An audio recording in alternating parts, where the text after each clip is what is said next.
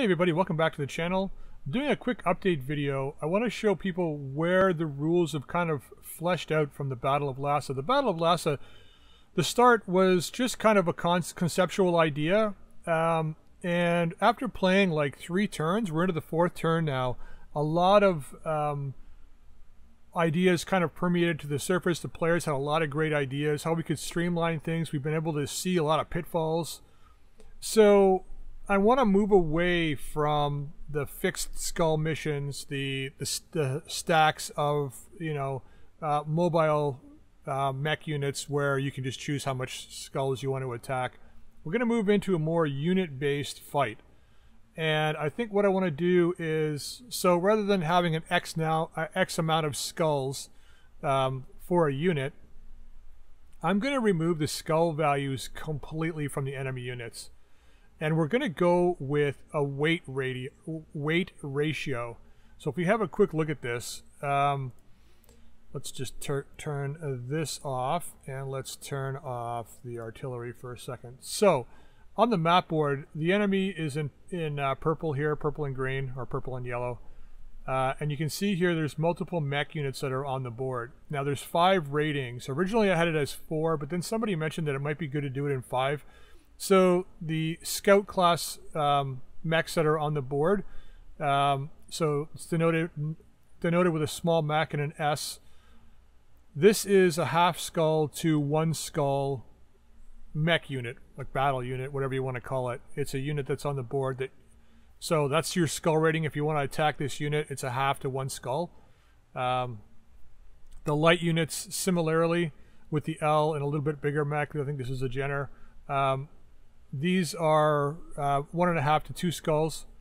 Mediums are two and a half or three skulls. Heavies, obviously, you know, uh, four. Sorry, three. Sorry, two and a half to three. Right, three and a half to four, and then assaults four and a half to five.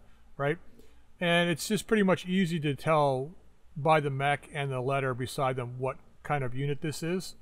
Each of these is going to have its own movement value, so scouts and light mechs will be able to move up to high, five hexes on the board, Mediums will be able to move up to, to four. Heavies up to three. Assaults up to two.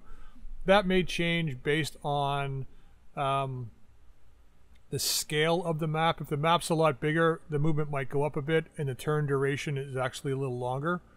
Um, I'm just kind of playing right now with arbitrary turns. I'm not putting attaching time to it, but we can scale movement up and um, stealth and detection up um, up and down based on how big we want to make the hexes and how large the map is. So the turn would go up, the movement would extend, um, like the turn time would go up, the movement would extend, and the range of you know your probes and stuff might go down because the hexes are technically smaller, um, or it might go up. Sorry, and if and then if if the hexes are a lot smaller, then the movement goes down the the um, range of the Beagle active probes and stuff goes down a little bit. So we'll just do do everything to compensate, right? So any any unit like this, like light units, can have a BAP at the top. These are their scout units. Beagle active probe gives plus one detection range. So for the most part, um, I'm starting with like a detection range of let's say two. So any max up to two hexes away from a unit will be detected. If you have a Beagle active probe, that extends one range to three. Um, I haven't included on these counters yet, but on these counters I have. If the half of the unit has Guardian ECM or some kind of ECM, the net detection range drops by one. So if the unit that's approaching it doesn't have a Beagle active probe or any kind of probe to it, um, then this unit's only detectable one hex away, so which means you got to be right next to it to spot it. Which could be bad if you're running an assault unit that's a stealth assault unit, which is why getting probes on at least one of your mechs uh, is always a good thing because then at least you've always got those the, you got the two hex detection range. It doesn't help you with assault that can move to because it can attack you, but at least you can spot it. Um, that I'm still working on. The detection range I'm still working on. Um, so as far as enemy units go, the only thing that's retained a skull unit or a skull value is the convoys.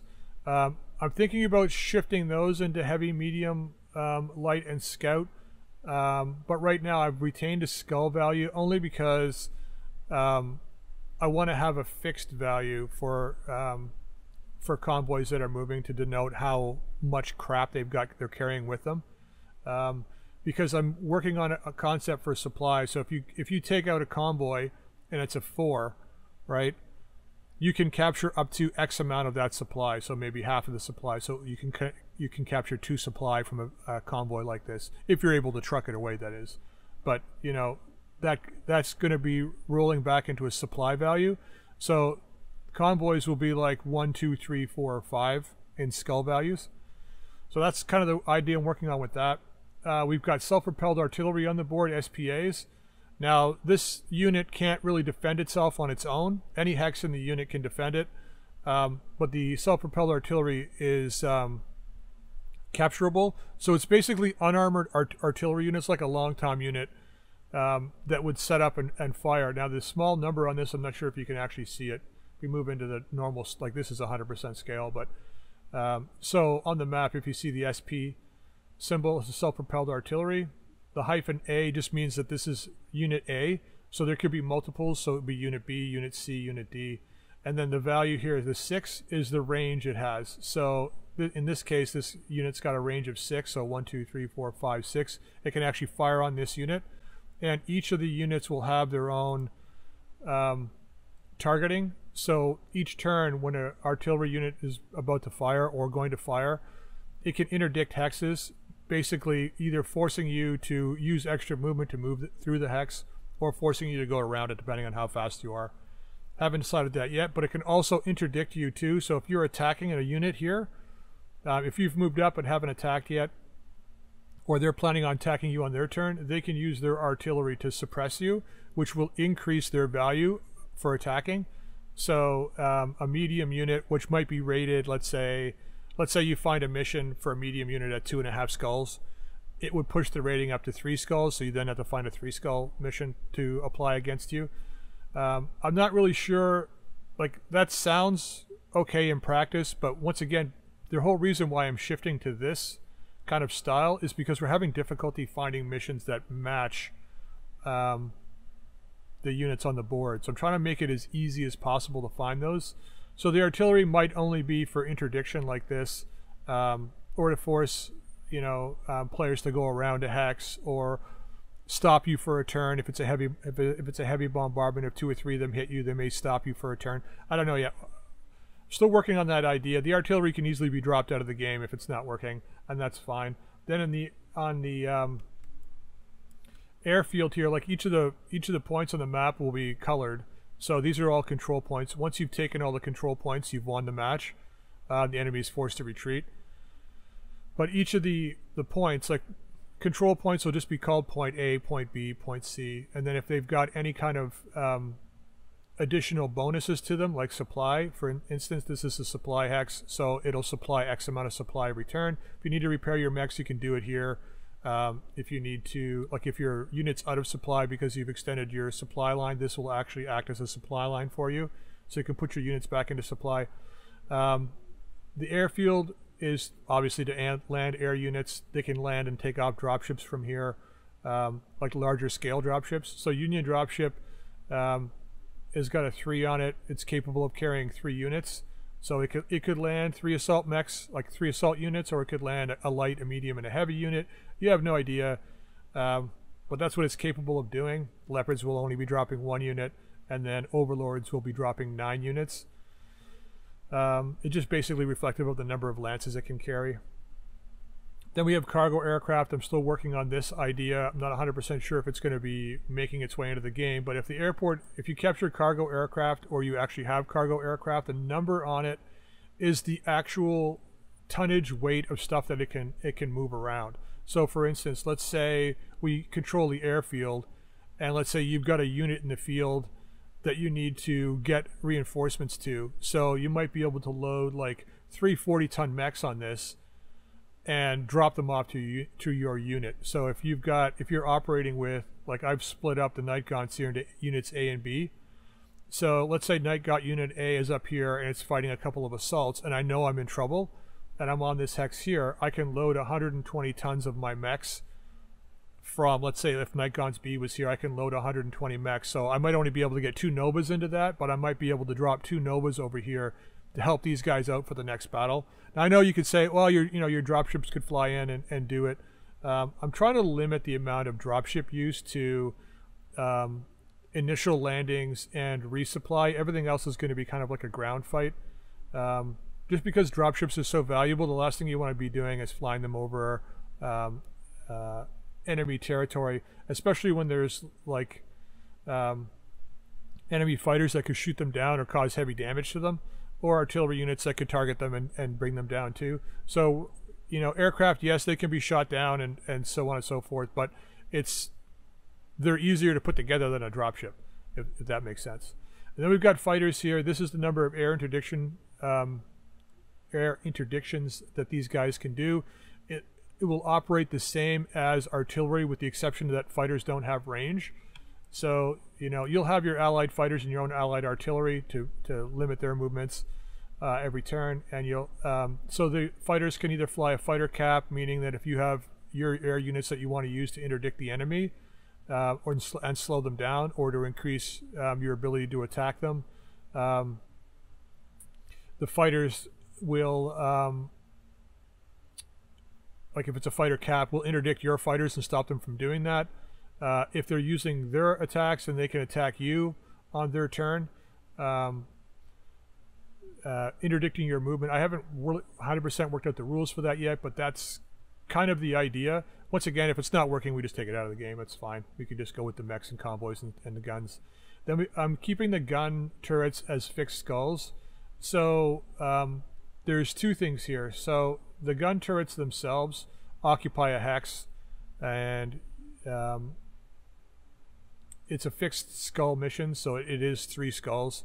But it can be any three skulls, so it can like it's a representative like three, three and a half. So um, the same as you have the assault medium. So the threes would be three, three and a half, fours would be four, four and a half, whatever you can find. Um, either you know a recovery mission or um, a destroy base mission would work.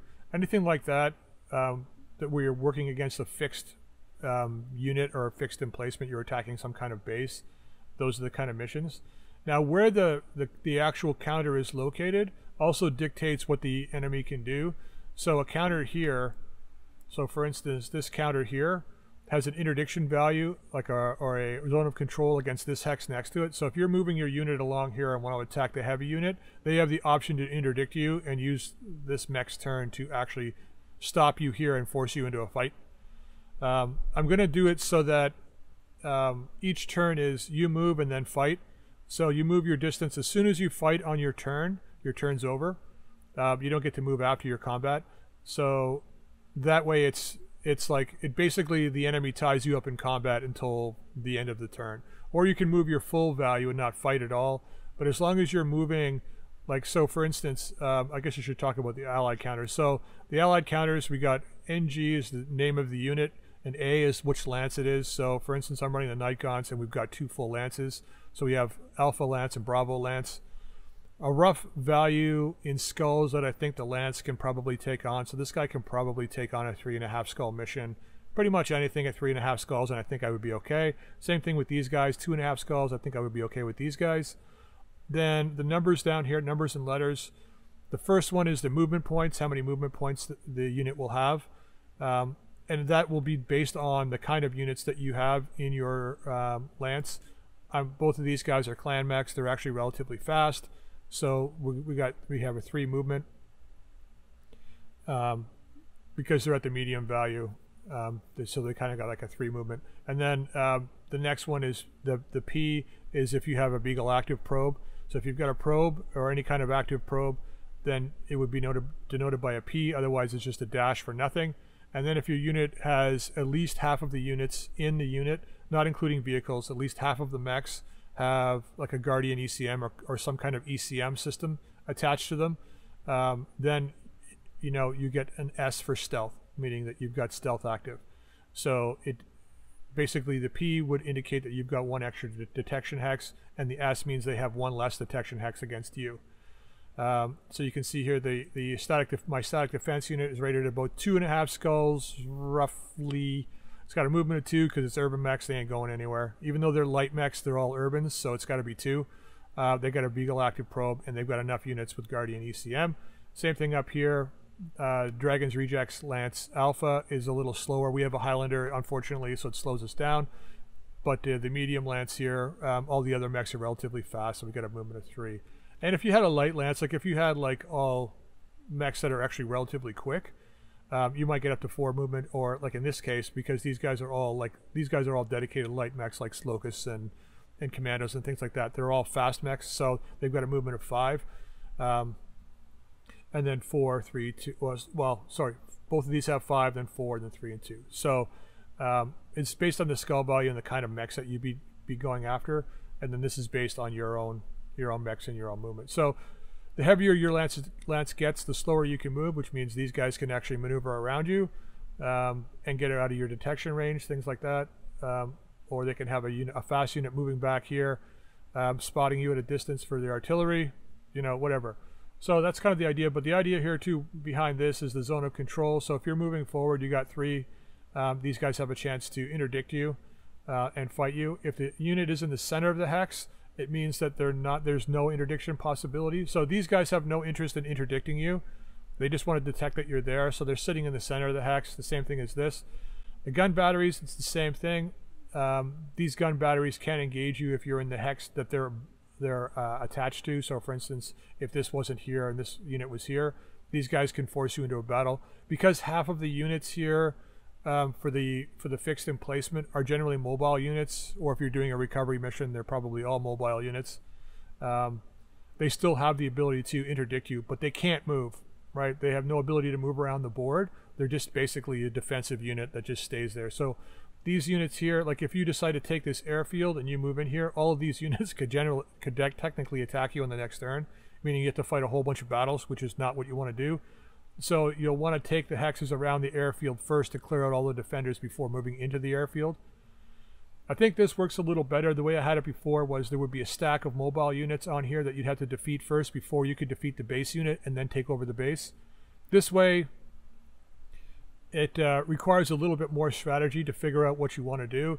Like maybe you take three of the units and defeat this one, move two units in here, and then wait for these guys to counterattack and it's over, right? It just depends on how many units you have available. Once again, um, units per hex, it can be, you know, I'm probably going to come up with a value that limit it. Maybe it's six units, maybe it's three. I don't know. We'll have a limit to the amount of units that can be occupied in a hex. Um, one there can only be one fixed defender in any kind of hex at one time. There can't be like two fixed defenders, which is why these are kind of bordered around the airfield but connected to it. Um, so yeah, I think I'm going to leave this one here. I don't think there's any other concepts I was really working on, but this kind of gives you an idea. Um, it, it may seem, seem complicated at first, and this map really isn't laid out as a proper tactical map, so you really have no idea. Um, things will be spread out a lot more than this. Um, I'm planning on doing it in sectors. So, for instance, like this map right now is, if we go to the null here, um, quickly go to scale. So if we go back to full scale here and then just kind of move this over to where it should be. Right, so that's a lot, like, there's, like, there's the overall map there, right? So you'll get an overall map like this, but then I'm going to, like I said, I'll, I'll, divide it up into individual segments like I've done with the Battle of Lhasa. So right now it looks a little confusing. Um, the overview map that we'll, we'll run on will have a, will look kind of like this. And if we bring this to 100%, this is kind of what it would look like. Um, actually, let's just do it this way. Probably a lot easier. So this is what it would look like um, when you're seeing it, like viewing it on your screen. Um, it's a the map is set up as HD 1920 by 1080. So um, this is roughly the, I mean, it'll be slightly larger than this, but this is roughly the, the size at 100% uh, that the map will look like to start the play. Um, and um, so you'll be able to see all your control points, what you do, what you need to do. And I forgot to attach these to the uh, null, so they're they kind of grew and got out of place, but I'll fix that in a second. Um, so yeah, so this is what it will look like on the front. We'll divide it up into to spaces. Once again, the hexes will have letters and numbers. You can designate where you want to go. We'll have one overview map of the entire situation so everybody can see what's happening. And then when we do, um, we, we're actually playing, we can divide it into zones, who's taking what zone. Just go back here real quick. Here we go. Uh, reduce this. So, um, let me just fix this real quick before I forget. So now if I attach this to the null like this, it actually scales when I scale this. Hooray for After Effects! Oops, not position. Scale. Watch what you're doing. Right, everything scales with it. It's kind of nice. I love this program. It's one of the things I use at work all, all like every day. So uh, anyway, um, yeah. So yeah. So when you're actually doing your individual battles, each one will be marked out in a in a terrain like this. So maybe it's just you and two other players that are in a certain zone, um, and then on the Discord channel, we'll have um, you know a main channel for having the full map, and then a channel for each of the individual um, areas that we're playing on. So, for instance, like if we well, we might have units down here, units up here. The enemy will be over here. You know, wherever they end up being. Um, we can decide who's going to take what zone, who's going to be going after what targeting. On a map like this, um, uh, the idea was, can you, you know, can we have roads in the map? There's kind of a rough road here. Um, this is just from Google Earth. Um, so there's like rough roads here, but I will create roads, so it will be able to increase your movement speed.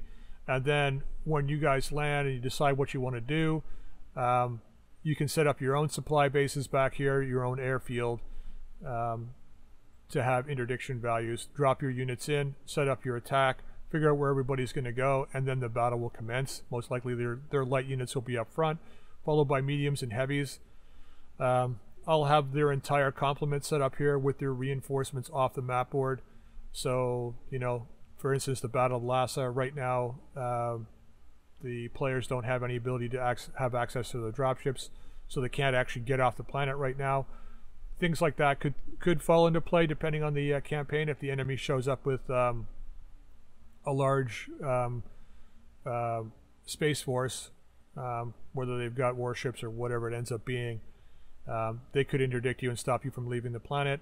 Uh, we're going to run with the supply values as I've been running it. So um, being in good supply means you know you get generous um, contracts when you're taking your mission, which means you're going to get good salvage and make good C-bills.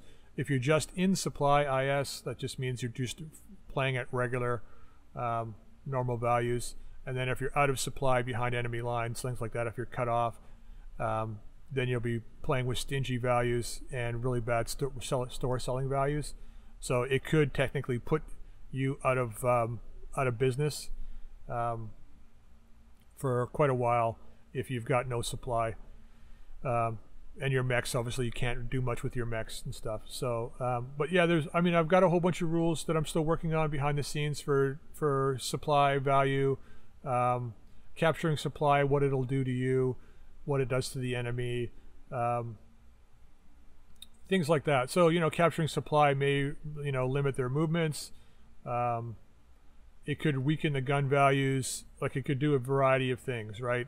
Uh, I'll just have to figure all that out. But yeah, think I'm going to leave this one here. I think that's all I wanted to cover in this. Uh, the rules are still evolving. I've got a very large list of rules and stuff that I want to cover. But I, like I said, I want to make it as super easy and as streamlined as possible that, so that as soon as we start, everything is obvious um, what needs to be done. Um, if artillery and aircraft aren't working, they can come out of the game. Um, if the dropships aren't working, they can come out of the game. If aircraft's not working, it can come out of the game. If supply doesn't work, it can come out of the game. And if we're finding that none, like none of that works, and we're just down to like mechs fighting across a map, that's fine too. Um, I just thought introducing a few other in individual elements might make it a little bit more interesting rather than just uh, doing straight up combat. Um, move like move your piece on the board, do combat. Move your piece on the board, do combat. This way, it forces you to think about where you want to take, what you can do. Um, do you want do you want to try and eliminate the enemy air units with your air units first? What do you want to do? Um, artillery, you can see their artillery. Do you want to interdict their artillery? Um, so we've got our allied artillery that might be able to just do this, stopping them from firing for a turn, right? or if we have an air unit, you can use the air unit to stop the artillery for firing from a turn for a turn or so. Um, yeah, just things like that. And I'm working on baggage train ideas so that um, if you've got extra mechs that you're not using in your lance, let's say, um, you could have a baggage train unit behind you or a couple hexes behind you so that if you do lose a mech in battle and you need to replace it really quickly, um, or if a pilot goes down and you need to replace the pilot, um, you can pause for a turn, have the baggage train come up, and then replace, you know, replace the pilot, uh, replace the mech, and then you're off and running again, right? So things like that. Um, still working on those ideas. Um, just trying trying to make it as realistic as possible. If you anyway, if you guys have any suggestions, please drop them in the comments and uh, comment section down below. Uh, I know this video's gone on for a fair bit, and I've been winded, uh, hot air winded again talking about it. But uh, I'm kind of really excited about this. Whether or not this actually um, takes off and we do it as a campaign, as a group, continuing with people playing. If people aren't interested in it, I'm definitely going to be doing this for my future series, having multiple units and playing multiple battles across um, a front like this. It's definitely something I'm interested in. So much like I did with um, Battle for Astrokaszy, the next in, the next incarnation of the Battle for Astrokaszy is going to look like this. And then once the Battle for Astrokaszy is done, which will most likely end after this kind of battle, I might play a few more battles after that, but the, it'll end after the next um, uh, major campaign.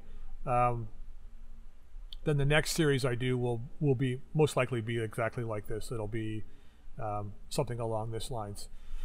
But I am going to end this episode here. I hope you enjoyed it. Please comment, uh, drop your comments in the comment section down below. Until next time, we'll see y'all later.